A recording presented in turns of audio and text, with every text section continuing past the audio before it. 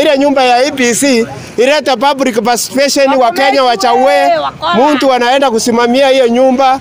Hiyo nyumba isikuwe na wizi, iko na wizi hiyo nyumba ya IBC. Hiyo nyumba imenunuliwa. Hii nyumba ya ABC iko na swara inaitwa impunity, corruption, tribalism iko kwa hiyo nyumba ya IBC. Kwa nini Kenya kitu kichukuliwa bunge, Mkenya wa kawaida hawezi faidika? Mambo anafanya ni embrishment ya Gachagua. Embrishment ya Gachagua ichasaidia Mkenya wa kawaida. Kitu ninataka tuone huyu Adani akuwe impeached. Juu yeye ndiye anauza vitu za Kenya anaenda na pesa. simu wengine nadhani ni Ruto. bo- Sababu tunaambia Wakenya wanaenda kutafutiwa kazi huko Katari, mahali wanaenda kuuliwa. Eh? Kitu tunasema Kenya tukuwe na kiongozi mwenye analeta vitu ni public, not in private. Zinauzwa ni private, mtu anaweka pesa kwa mfuko. Ah, unatoa NHIF, hii NHIF mlitoa. Kwa nini hamukuambia wananchi wachue ni nini kinaendelea? Kwa nini mnakimbiza wananchi kama gari ya miraa? Mnawatoa kwa NHIF, mnawakimbisha kwa SHA. Hii SHA is a very questionable institution. 2027 wa Kenya tuamue tuchague one kingpin. Ruto aende nyumbani. Mahali tunaelekea umaskini inaendelea kuwa juu. Prostitution iko juu. Single parent iko juu. Divorce iko juu. Witchcraft imeongezeka. Theft, wizi imeongezeka. Kwa hivyo tukimaliza umaskini hapa Kenya, ni lazima tutoe William Ruto kwa uongozi. Kitu nataka kuongelea ni mambo ya employment Kenya. Employment Kenya hatuna kazi, Wakenya, Wakenya wengi hatuna kazi kwa hii nchi yetu. Hakuna. Kazi, kazi tunaambiwa tunatafutia, tunatafutiwa nchi za nje. Kazi tunatafutiwa nchi za nje, watu wetu wanaenda huko wanauliwa huko nchi za nje, watu yetu wanateswa huko, wanawana amani. Hata kama wanatafuta hizo pesa wanaleta hapa Kenya, hizo pesa hafaidiki nayo.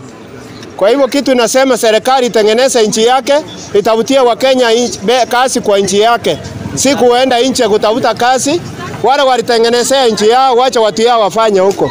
Sisi hapa Kenya kazi iko mingi, tunataka area ya agriculture mambo ya agriculture iangaliwe, watu wafanye hii mashamba ilichonyakuliwa kubwa kubwa, watu wako nayo.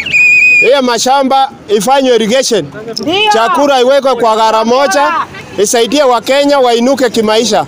Umaskini inaendelea kuwa juu cha, cha, cha kukosa kazi, wizi inaongezeka juu ya kukosa kazi, prostitution iko juu, divorce iko juu, single parent imeongezeka juu ya huyu, hii kitu inaitwa ukosefu ya kasi kazi ukosefu ya kazi na hii, hii kampuni inaitwa kuna hii hii, inaitwa EICC. EICC haichashika mtu yeyote ameiba pesa ya Wakenya iweke koti. EICC inafaa ikuwe disbanded. Kwa nini? Isaidii Wakenya, ikiweka kwa hatua kubwa inatubiria inakanyagia hiyo mambo chini.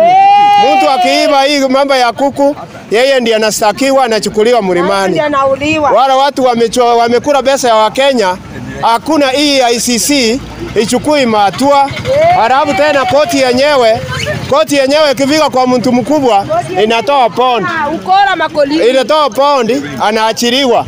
Lakini mtu maskini yeye ameiba kuku, anasukuma huko mlimani. Sasa tunasema hii swala la impunity, ni nani atakuja kuimarisha Kenya?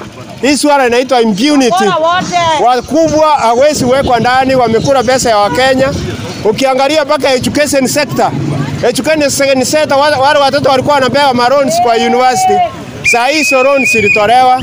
Hao watoto wamerudi nyumbani, hawana kazi, hawajasoma, wamefikisha ile kiwango walikuwa wanafikisha masomo.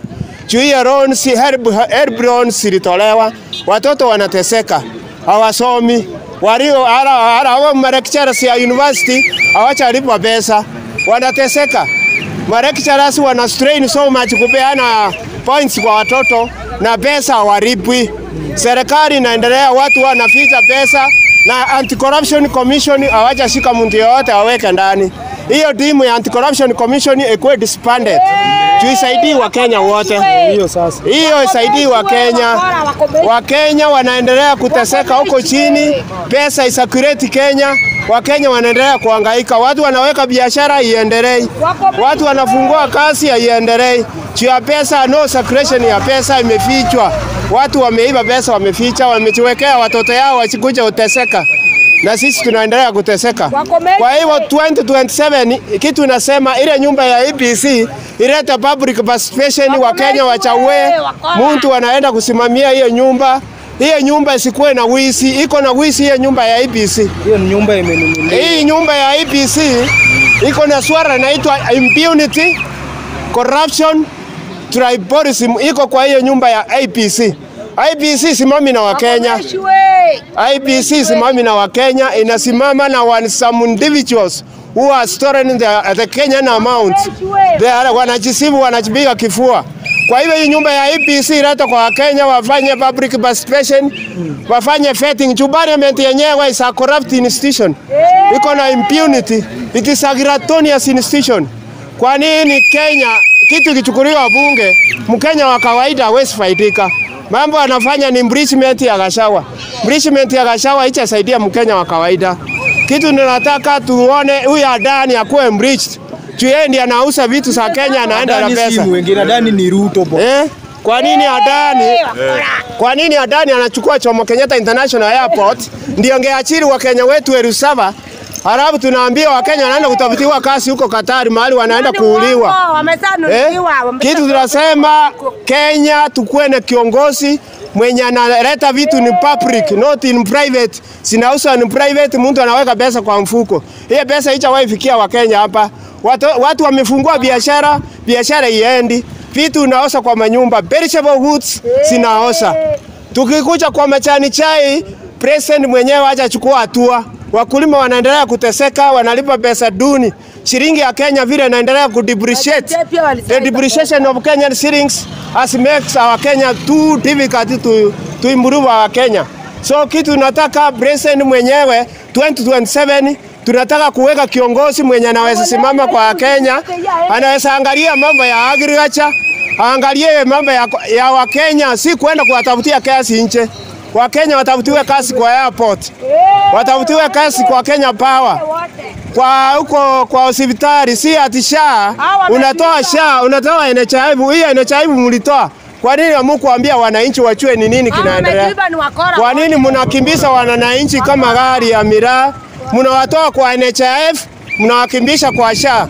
Hii SHA is a very questionable institution, imeletwa na Wakenya, imeletwa kwa Wakenya kupora pesa ya Wakenya. Hii ni nini inaletwa haraka haraka? Iwezi renda kwa public bus station, mwananchi wa kawaida amue. Kwa hivyo 2027 wa Kenya tuamue, tuchague one kingpin. Ruto aende nyumbani. Mahali tunaelekea umaskini inaendelea kuwa juu. Prostitution iko juu. Single parent iko juu. Divorce iko juu. Witchcraft imeongezeka. Theft, wizi imeongezeka. Kwa hivyo tukimaliza umaskini hapa Kenya, ni lazima tutoe William Ruto kwa uongozi. Tukiendelea kumuweka hapo, umaskini inaendelea kuongezeka Kenya usiku chao usiku kuamuka. Kwa hivyo 2027 tuchafute one one kingpin, tutoe Ruto. Ruto wesi mtoa hivi haraka, anachua IPC ameweka karibu, polisi ameweka karibu, judiciary ameweka karibu. Wakenya ni lazima tusimame kama Kenya na watu ya Mount Kenya musikane na Wakenya wengine, acha kujibagua. Hii mambo ya kujibagua ndio imefanya Kenya inaendelea kuangamia. Swara ya kabila iwezi enda inua inchi. Wacha tupigane na kitu inaitwa ukabila umaskini. Ukabila umaskini ndio imekuwa juu kuliko ile kabila ya lugha. Waende. Kabila ya lugha iwezi lipa nyumba. Wakora. Iwezi chua vile mtu anakula kwa nyumba. Tupigane na ile swala limbikisi la umaskini ndio imecha hapa Kenya. 2027 tuamue IBC leto public participation, wananchi waamue ni nani anaweza simamia ya hiyo nyumba. Hiyo nyumba inakuwa manipulated na watu watu wameiba pesa ya Wakenya. Hiyo ndio kitu ndasema. Asante sana.